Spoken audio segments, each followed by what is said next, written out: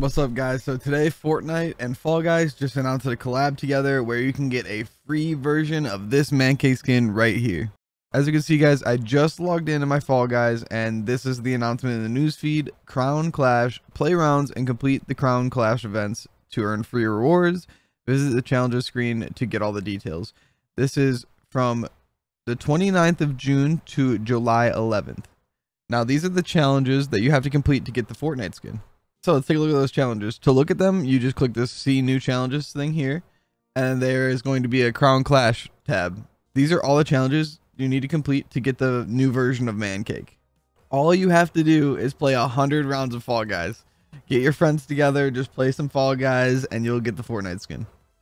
After completing those rounds, this is the skin you should get, and those are the cosmetics that come with them.